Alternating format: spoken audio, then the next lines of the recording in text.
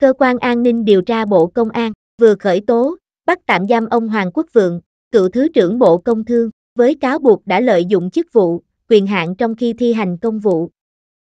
Chiều ngày 4 tháng 1, Trung tướng Tô Ân Sô, người phát ngôn Bộ Công an, cho biết, cơ quan an ninh điều tra Bộ Công an vừa ra quyết định khởi tố bị can, lệnh bắt tạm giam và khám xét chỗ ở, đối với ông Hoàng Quốc Vượng, cựu Thứ trưởng Bộ Công Thương, về tội lợi dụng chức vụ, quyền hạn trong khi thi hành công vụ, quy định tại Điều 356 Bộ Luật Hình sự.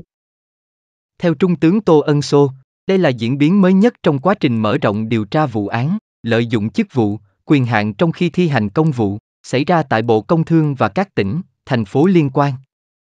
Người phát ngôn Bộ Công an cho hay, các quyết định và lệnh tố tụng đối với ông Vượng đã được tống đạt, thực thi sau khi Viện Kiểm sát Nhân dân tối cao phê chuẩn.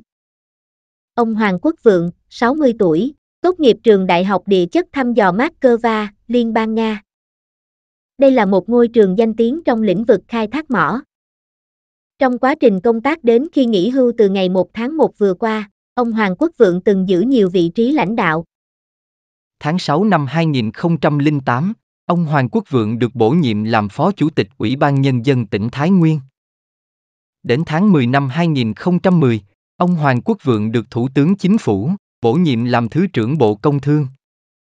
Nhưng đến tháng 9 năm 2012, ông Hoàng Quốc Vượng được điều động đảm nhận vị trí Chủ tịch Hội đồng thành viên, Tập đoàn Điện lực Việt Nam, EVN. Đến tháng 1 năm 2015, ông Hoàng Quốc Vượng thôi giữ chức Chủ tịch Hội đồng thành viên EVN, quay trở lại Bộ Công Thương ở vị trí Thứ trưởng. Trong thời gian công tác ở Bộ Công Thương, ông Hoàng Quốc Vượng được phân công phụ trách chỉ đạo công tác trong lĩnh vực điện lực, năng lượng tái tạo, môi trường và phát triển bền vững. Ông Hoàng Quốc Vượng nghỉ hưu theo chế độ từ ngày 1 tháng 1 năm 2024 liên quan đến vụ án này. Trước đó vào tháng 11 năm 2023, Cơ quan An ninh điều tra Bộ Công an đã khởi tố, bắt tạm giam 6 bị can, là cán bộ của EVN và Bộ Công Thương về, lợi dụng chức vụ, quyền hạn trong khi thi hành công vụ.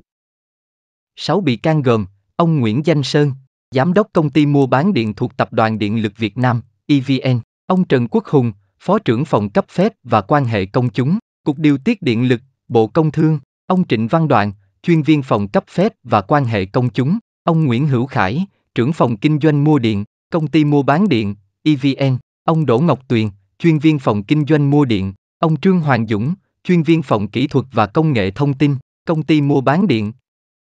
Cơ quan an ninh điều tra đang tiếp tục điều tra vụ án để xử lý theo quy định pháp luật.